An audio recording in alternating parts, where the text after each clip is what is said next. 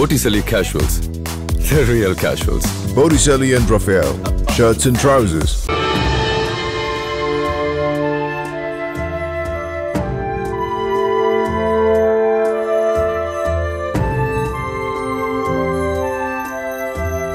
புதிய தலைமுறை நேயர்களுக்கு வணக்கம் நிலவினுடைய தென்பகுதியில் எப்படியாவது தங்களுடைய விண்கலத்தை லான்ச் பண்ணணும் அப்படின்னு உலக நாடுகள் பல ஆண்டுகளாகவே முயற்சி செஞ்சு வந்துட்டுருக்காங்க. அந்த வகையில் இந்தியா கடந்த ஜூலை பதினான்கு அன்னைக்கு சந்திராயன் த்ரீ அப்படிங்கிற விண்கலத்தை நிலவை நோக்கி அனுப்புறக்கான எல்லா முயற்சிகளையுமே ஈடுபட்டு அது கிட்டத்தட்ட வெற்றியடைவதற்கான சூழலை நோக்கி தான் போயிட்டுருக்கு. அதாவது ஆகஸ்ட் இருபத்தி மூன்றாம் தேதி சந்திராயன் நிலவினுடைய தென்பகுதியை அடையும் அப்படின்னு எதிர்பார்க்கப்படுது. இதற்கு இந்தியா மட்டும் இல்லாமல் உலக நாடுகள் எல்லாமே பெரும் ஆவலோடு எதிர்பார்த்துட்டு இருக்காங்க. பல உலக நாடுகள் இந்தியா இந்த முயற்சியில் வெற்றி பெறுமா? என்ன மாதிரியான சவால்களை இந்தியா சந்திக்க போகுது அப்படிங்கிறதையும் எதிர்பார்த்துட்ருக்காங்க ஒருவேளை இந்தியா வந்து இந்த சந்திராயன் மூன்று விண்கலத்தை சரியான முறையில் ஏவி அது நிலவினுடைய தென் பகுதியை சென்றடைந்துச்சு அப்படின்னா இது இந்தியாவுக்கு மிகப்பெரிய வெற்றியாகத்தான் பார்க்கப்படுது. அது மட்டும் இல்லாமல் உலக அளவில் நிலவினுடைய தென் பகுதியை சென்றடைந்த முதல் விண்கலம் முதல் உலக நாடுகளினுடைய விண்கலம் அப்படிங்கிற பெருமை இந்தியாவை தான் சேரும்.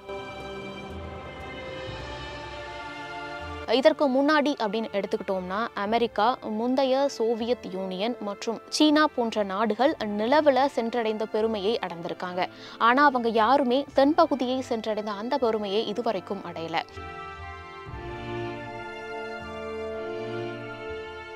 இப்போவே இந்தியா கூட போட்டியில் ரஷ்யா வந்து தன்னுடைய விண்கலத்தை லூனா டுவெண்ட்டி ஃபைவ் அப்படின்னு சொல்லக்கூடிய விண்கலத்தை இந்தியாவிற்கு பிறகு ஆகஸ்ட் பதினொன்றாம் தேதி நிலவுக்கு அனுப்பலாம் அப்படிங்கிற ஒரு முயற்சியில் ஸ்டார்ட் பண்ணாங்க. ஆனால் அது தோல்வி அடைந்ததாக கடந்த ஞாயிற்றுக்கிழமை அன்னைக்கு அதிகாரப்பூர்வமான அறிவிப்பையும் வெளியிட்டிருந்தாங்க. இதன் காரணமாக இந்த ரேஸில் இப்போ ரஷ்யா வெளியேறி இந்தியா மட்டும்தான் முன்னேறிட்டு இருக்குது நிலவினுடைய தென்பகுதிக்கே ஏன் இவ்வளவு டிமாண்டா இருக்கு? உலக நாடுகள் எல்லாமே இந்த பகுதியை ஏன் குறிவைக்கிறாங்க? நிலவினுடைய அந்த தென் பகுதியை பொறுத்த வரைக்குமே பூமியில் இருந்து கொஞ்சம் தூரமாக இருக்கக்கூடிய பகுதி இருண்ட பகுதி அப்படின்னும் சொல்லப்படக்கூடியது. இதுல அதிகமான மேடு பள்ளங்கள் இருக்கிற மாதிரியான சூழ்நிலை தான் இருந்து வந்துட்டு இருக்கு ஆனாலுமே அங்க நிறைய விலைமதிப்பற்ற சில தாதுக்களும் இருக்கிற காரணத்தினாலையும் நீர் இருக்கிறதுக்கான சோர்ஸ் இருக்கிற காரணத்தினாலையும் அந்த பகுதியில் ஆய்வு செய்கிறது அப்படிங்கிறது உலக நாடுகளினுடைய மிகப்பெரிய கனவாகவும் இருக்கு. அதே நேரத்தில் தென்பகுதியில் ஆய்வு செய்கிறது அப்படிங்கிற ஒரு விஷயம் ரொம்பவே சவாலான ஒரு விஷயமாகவும் பார்க்கப்பட்டு வருது. சரி தென்பகுதியில் அப்படி என்னென்ன இருக்கு அப்படின்னு பார்க்கும்போது முதல்ல மனிதர்களினுடைய வாழ்விற்கும் அவர்களுடைய வாழ்வாதாரத்திற்கும் முக்கியமான விஷயமாக பார்க்கப்படுற தண்ணீர் அப்படிங்கிற ஒரு விஷயம் நிலவினுடைய தென்பகுதியில் இருக்கிறதாக சொல்றாங்க. குறிப்பா உறைந்த ஐஸ் போன்றவைகள் வந்து அந்த தென்பகுதியில் இருக்கிறதாகவும் சொல்லப்பட்டு வருது. இந்த தண்ணீரில் இருந்து ஹைட்ரஜன் மற்றும் ஆக்சிஜன் போன்றவை பெருக்கப்படலாம் அப்படிங்கிறதும் முக்கியமானதாக பார்க்கப்படுது. இது இல்லாமல் ராக்கெட்டினுடைய ஃபியூயலுக்காக இந்த ஹைட்ரஜன் மற்றும் ஆக்சிஜன் பெருமளவு உதவிகரமாக இருக்கும் அப்படிங்கிறதும் முக்கியமானதாக பார்க்கப்பட்டு வருது. அடுத்ததாக தென்துருவ பகுதியில் இருக்கக்கூடிய ஹீலியம் த்ரீ அப்படின்னு சொல்லக்கூடியது. இது பூமியில அவ்வளவு எளிதாக கிடைக்கக்கூடிய ஒரு விஷயம் கிடையாது. அரிதானதாக தான் பார்க்கப்படுது. ஆனா தென் துருவத்தின் நிலவினுடைய தென் துருவத்துல இந்த ஹீலியம் த்ரீ அப்படின்னு சொல்லக்கூடியது மில்லியன் டன் கணக்கில் இருக்கிறதாக விஞ்ஞானிகள் இதற்கு முன்னாடியே சொல்லியிருந்தாங்க. குறிப்பாக குறிப்பா நாசா வந்து டன் கணக்கில் இது இருக்கிறதாகவும் எஸ்டிமேஷன் கொடுத்திருந்தாங்க. அடுத்ததா பார்க்கும்போது பூமியில அரிதாக கிடைக்கக்கூடிய சில மெட்டல்ஸ் வந்து நிலவினுடைய தென் துருவ பகுதியில் இருக்கு. அது என்னென்ன அப்படின்னு பார்க்கும்போது ஸ்காண்டியம் எத்ரியம் போன்ற மெட்டல்ஸ் வந்து இந்த பகுதியில் இருக்கிற காரணத்தினால தென் துருவத்தில் நம்ம ஆய்வுகளை செய்தோம் அப்படின்னா அது பெருமளவில் அடுத்த வரக்கூடிய ஃப்யூச்சருக்கு யூஸ்ஃபுல்லாக இருக்கும் அப்படிங்கிறது தான் இந்த ஆய்வுகளை அதிக உலக நாடுகள் கான்சென்ட்ரேட் பண்ணுறதுக்கு ஒரு காரணமாகவும் பார்க்கப்படுது.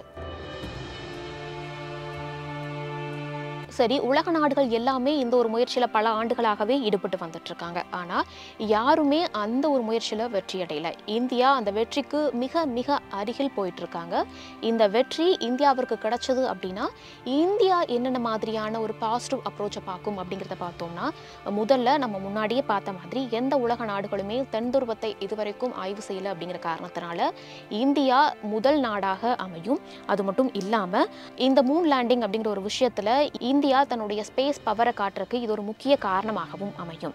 அடுத்ததாக பார்த்தோம் அப்படின்னா உலக அளவில் இந்தியாவினுடைய அதாவது இஸ்ரோவினுடைய அந்த மதிப்பு அப்படிங்கிறது அதிகரிக்கும்.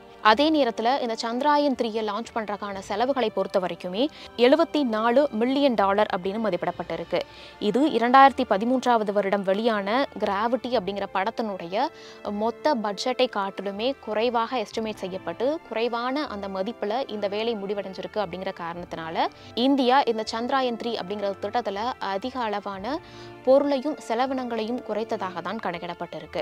ஸோ இந்தியாவினுடைய இந்த வெற்றி அப்படிங்கிறது உலக நாடுகள் எல்லாமே எதிர்பார்த்திருக்கக்கூடியதாகவும் அமையும் அப்படிங்கிறது தான் முக்கியமானதாக பார்க்கப்படுது. எது எப்படி இருந்தாலுமே சந்திராயன் த்ரீயினுடைய இந்த திட்டம் அப்படிங்கிறது எவ்வளவு வெற்றியை நமக்கு கொடுக்க போகுது அப்படிங்கிறது ஆகஸ்ட் இருபத்தி மூன்றாம் தேதி மாலை ஆறு மணிக்கு மேலே நம்ம எல்லாருமே தெரிஞ்சுக்க முடியும்.